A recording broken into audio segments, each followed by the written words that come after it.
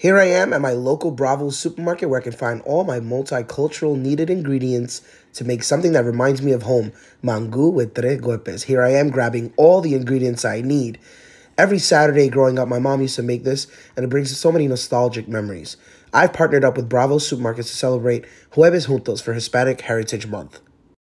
This recipe is literally a handful of ingredients and can be made in 30 minutes or less. While the plantains are cooking in salted water, we're to add the onions, saute lightly, add a little bit of vinegar. Once the plantains are ready, we're to mix with a little bit of butter and some of the reserved water till it's nice and creamy. We're to fry our egg, our queso frito, our salami frito. And now the best part about doing this is seeing all your hard work come together and you get to enjoy this. So happy Hispanic Heritage Month. Let me know if you make this dish. I'd love to see you recreate it and make it your own.